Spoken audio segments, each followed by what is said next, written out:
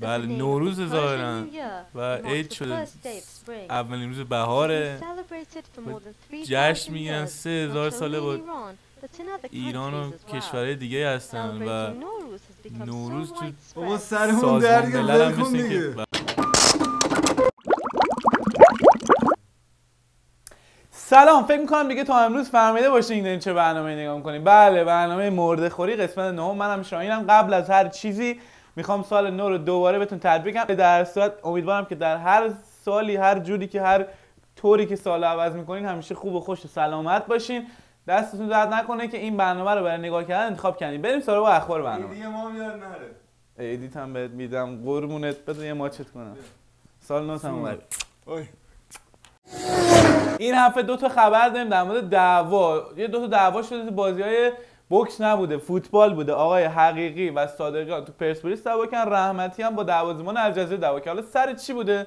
تو پرسپولیس که سر نخودچا آجیل شب عید بوده. اینا دیگه بالاخره شب عید دعوا میشه دیگه. اون اون گفته چه عیدی نمیده اونم گفته بیا آجیل یه چیز مسخره آقا. حالا دعوا شده. بزن و بکوب قراردادشون هم 15 درصد کم کرده. آقای علیدایی هم قراره مثل که اخراجشون کنه از پرسپولیس. حالا ببینیم که چی پیش میاد. آقای رحمتی هم با دروازه‌بان الجزیره دعوا کرده. چون که اون الجزیره یه اینجوری کرده یه چیزی کرده به تماشاگر استقلال رحمتی هم که دیگه بالاخره با غیرت تیم استقلال خونش به جوش اومده چیزی زده بالا رفته دعوا کرده. دستش درد نکنه دیگه. بالاخره عربا ما خیلی چیز نیستیم نجات پرست که می‌دونیم ما نیستیم. ولی کلا رو عربای خود حساسیم دستش درد نکنه. ولی از دید AFC جان نمونده که فکر کنم البته جریمه کلوفتی هم همچین بزنن تو کاسش آقای کارلوس کیروش یه پیشنهاد داده به تیم ملی ایران که به ایران یعنی که آقا می‌خواد مربی ایران بشه بس چهار سال دیگه مثل که خوشش اومده چه بس که بعد نگذشته. بالاخره ایران هم که می‌دونید خوشگل ترین دخترای دنیا رو داره. البته حالا شاید به خاطر اون نباشه ولی سی میلیارد تومان هم برای چهار سال برای که دستمزد بگیره. به نظر من خیلی خوبه. یعنی شما اگه مقایسه کنی با اینکه بالاخره در یه دونه مربی تیم ملی که بیشتر نداریم بعدم بالاخره چی؟ میگم لنگ کباب کوبیده بوده. کباب کوبیده آره دیگه. من حتی فکر می‌کنم بیشتر چنجه. جام قهرمانان آسیا. آقا این هفته یه خود گند زدن یه خود نه. خیلی گند زدن. تراکتور سازی باخت. سپاهان باخت. استقلال و فولاد هم مساوی کردن. یعنی از جمع 12 امتیاز ما فقط دو امتیاز گرفتیم. هر هفته داره گند و گندتر میشه. امیدواریم که حداقل دو از این تیم‌ها به محله بعد صعود کنن. سپاهان دقیقه 90 چند باخت خیلی بد شانسی آورد. تراکتور هم خوب بازی کرد فولاد هم عالی بود. همشون خوب بودن استقلال هم بدی نبود. ولی خب دیگه حالا این فوتبال دیگه یه سرش باخته یه سرش حالا این سرش به ما رسیده. معمولا من دوست دارم سر خوبش به ما برسه ولی همیشه سر بدش به ما می‌رسه. ولی جریان سر اینه که دو سه سه چهار تا دیگه بازی مونده. امیدواریم که این تیم‌ها بتونن جبران کنن. حالا گلای مهم و این نتایجش هم براتون آماده کردیم. بریم یه سری به این گلا و نتایج بزنیم و برمیگردیم.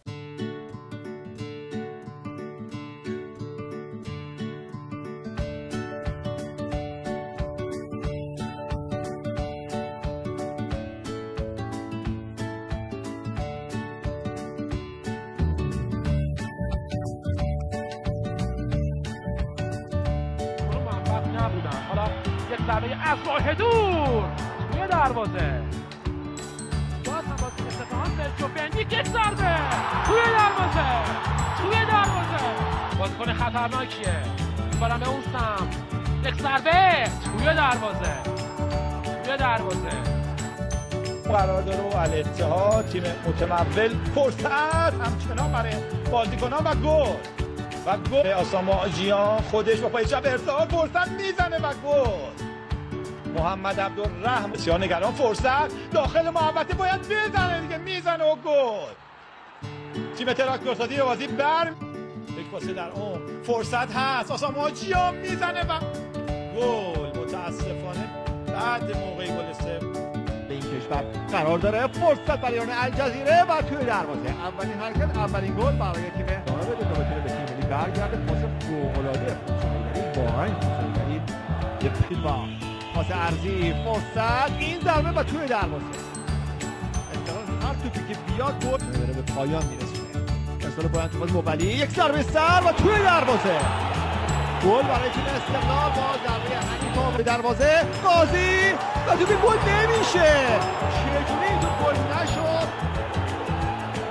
یه سری می‌زنیم به بازیکنایی که خارج از کشور بازی می‌کنه آقای نکونا و قوچان نژاد البته قوچان نژاد توی چارلتون بازی می‌کنه. آقا این تیمش اومده نوروز رو بهش تبریک گفته. ما که اینجا بودیم بهش تبریک نگفتیم. اونا از اونجا به اون خالتون اونو نزدیکترن دیگه. دم دست بوده ولی دستشون درد نکنه. ما خیلی احترام می‌ذاریم به این جور مسائل. چون ما هم می‌دونی که ما مثلا تبریک میگیم سال نو اینا رو. اونا هم بالاخره به ما میگن. یه گل قشنگم. نکونام زده تو تیمش.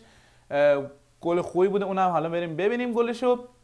ولی خلاصه اینکه این هفته هفته خیلی خوبی برای بازیکن خارجی ما نبوده. مخصوصا حالا اسم نمیارم. دانیال داوری هم خیلی خوب نبوده. بریم این گل آقای نکونا رو ببینیم برمیگردیم با خبر بعدی. نمیشه این تبلیک قوشان تو سر هر اخباری چیزی بگی؟ من هم تو پروندم بابا. پروندی؟ و اون رو سایت دیگه برای چیه؟ یه چیزی هستی حالا رو فیسبوک دیگه. همینطور رو هوا که نگفته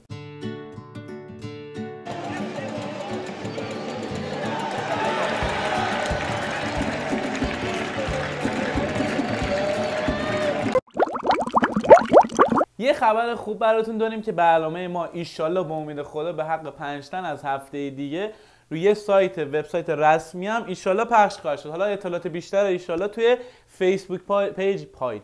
page ما خواهید دید. یه دونه حامی جدیدم پیدا کردیم فیسبوک page امیر قلعه‌نویی ایشالله که بتونین این برنامه ما رو از تمام حامیان برنامه فیسبوکی ما هر هفته دنبال کنید خب در این قسمت برنامه می‌خوایم یه چیزی به شما نشون بدیم یه سایتی که شما می‌تونید برنامه مرده خوری رو به صورت کاملا زنده که نه به صورت مرده تماشا بکنین صفحه گوگل کروم است. اینجا میرین بالای کلید می‌زنین و تایپ می‌کنین گولر خط فاز خط تیره یک دات کام. می‌زنین و این صفحه برای شما باز میشه. همونجوری که مشاهده می‌فهمه اینجا خانه و پخش زنده و فلان و اینا. اینجا مرده خوری اگه روش کلید سمت چپ موس فشار بدین اینجا یه مقدارم سب بکنین یه چیزی خواهد اومد. بله این قیافه منه و اینم برنامه ما هستش. اینجا یه کلید بزنید دیگه تماشا می‌تونین بکنین این خیلی جالبه و امیدوارم که استفاده بکنین بله خیلی هم ممنون از دستن در کاران وبسایت گولروان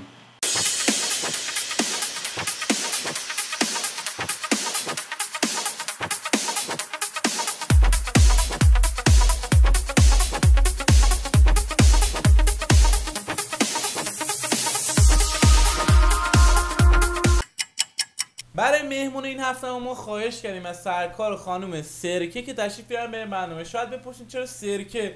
ما خیلی فکر کردیم که آقا از هفسین یکی از این اعضای هفسین رو انتخاب کنیم که خیلی شبیه به فوتبال ایران باشه.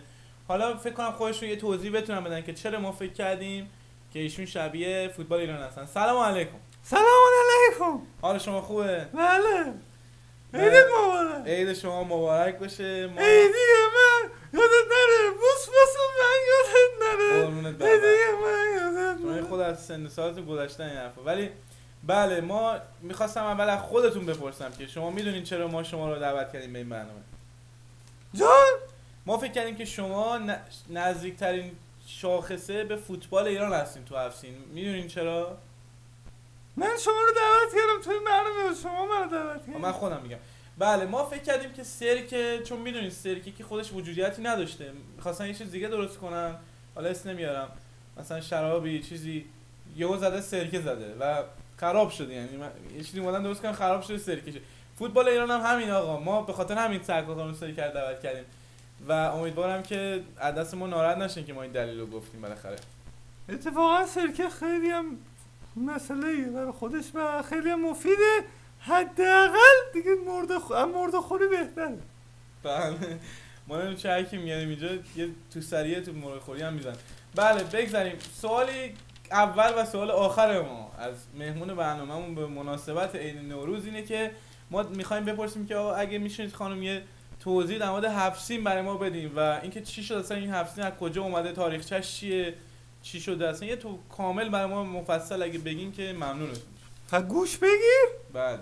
گوش بگیر من حرف بزنم. باشه ما دعوتون من همسن خواهرتم. خب؟ بله.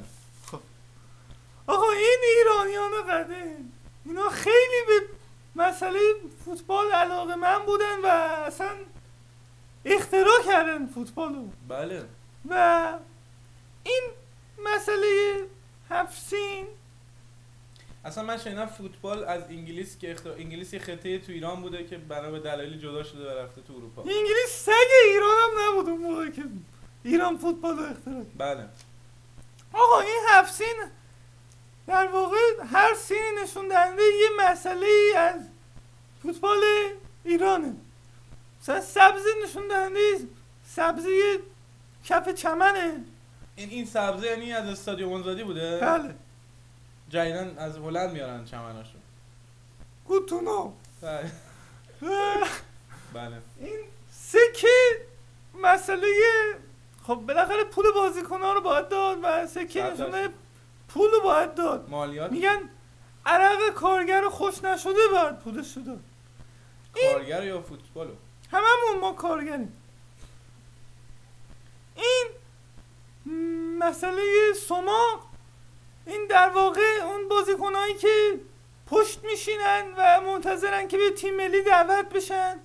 و به خاطر لژیونرها که تو تیم چلقوز آباد آلمان یا هر جا بازی می‌کنن نمی‌تونن بیان اینا. سماق میمکن و یعنی بازیکنایی که به پشت میشینه مثل آقای رحمتی پشت. دیگر دوستان. و اینا میمکن. خواهش کنم. اسم نیارین البته. ریا میشه. بعد دیگه برات بخوام دلم بگه آها همین سیب. نشون دهنده دو سیبه و قلیونی که بازیکنان خیلی علاقه من یعنی قلیون یه بخشی از فوتبال بوده در قدیم. البته الان بعضی از دوستان دارن احیا می‌کنن این سنت قدیمی دوباره. البته دو سیب نعنا الان بورسا یعنی میکس می‌کنن. ولی خوبه دو سیب هم. آره من من دارم صحبت می‌کنم شما شما. بفهمه شما. خب. بحث دیگه همین سمنو که در واقع شیرینی تبانی یا گونه رشوه رو اون لذتی که در رشوه هست و خواسته که نشون بده. اتفاقا گفتین رشوه من همین سر مرده خوری یه بار پاش افتاد دیگه رفتیم تا پا رو تا آخر رفتیم تو چیز شد دیگه رشوه رو گرفتیم و حقیقت عین سمنو اولش که می‌خوری شیرینه خوشت میاد بعد یه دو قاشق دیگه که می‌زنی همچی تعدلتو می‌زنه و حالت تگری بده. یعنی ما همه هر چی پول گرفته بودیم و خرج دوا درمون و ویتامین ب 12 و نمی‌دونم اینجا هم آفتابش کم زدیم پلنبی و هر اصلا همه پولا رفت یهو رفت نفهمم چی شد. پلنبی چند قیمت داره شما؟ پل... من چاینیزا می... حالا د- مسئله خیلی مهمی نیست و بریم سراغ سین بعدی. اتفاقا ما پلنبی هم می‌خواستیم تو سفره هفسین بذاریم ولی رد شد تو جلسه. خب سینه بعدی. سینه بعدی سنبول که نشون دهنده توهین در فوتبال ایرانه که بازیکنان وقتی توهین می‌کنن دستشون رو رو سنبولشون می‌ذارن و. به خاطر همین ما توهین هم لحاظ کرد. بله بله. اتفاقا دیدم من خیلی دیدم. تو اخبارام هست این موقعی. چرا حالا همه رو سنبول دیدی به رو خود نه. آره. یه جوری حالت چند شاوری هم داره. در خب حالا من این چیزای دیگه تون چی؟ مثلا این آینه و شمدون و این کتاب و نمی‌دونم. ماهی و اینا چیه قضیهش اینا هم به فوتباله یا اینا هم می‌تونه. باشه هم آه می‌تونه باشه فوتبال اینا, ربط داشته اینا همه چیه؟ می‌تونه میگم این ماهی و اینا شما گوشتون یه دندون پزشکی برید اه، این ماهی و قرآن و حافظ و نمی‌دونم شاهنامه این کتابا این آینه اینا چیه می‌ذارن؟ ماهی؟ نه اینا تو هفته نبوده اینا بعدا اومده ولی یادم من مسئول اینا نیستم. دپارتمان بغلی ولی بالاخره آینه خودتو ببینی از خود خجالت بکشی. ماهی تکون می‌خوره یاد بگیری هم تکون بخوری نشینی یه جا. قرآن هم که احترام می‌ذاریم ما مسلمانیم چیم پس؟ تو چی؟ مسلمان شیعه هستیم. خب دیگه نتونستیم از شیعه چیزی بذاریم همون قرآن رو می‌ذاریم. نقش البلاغه هم بعضا بچه ها می‌ذارن که من تشکر می‌کنم. دوست عزیزانی که کتاب حافظ استفاده می‌کنن. خواستم بگم که اشتباه محضه و برگردید رو قرآن ترجیحاً یه نقش البلاغه یه رساله امامم بذارین بغلش که ستتون کامل. چقدر سیاسی؟ مذهبی شدیم. من